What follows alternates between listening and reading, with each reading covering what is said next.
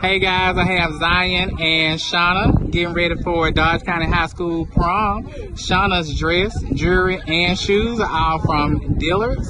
Zion's three-piece tuxedo is from ASOS. He has a custom-made bow tie and handkerchief from Bow Fresh Bow Ties. His shoes are by Giorgio Brutini, and they both been styled by the Guru. They're on their way to prom. Stay tuned for more behind-the-scenes footage.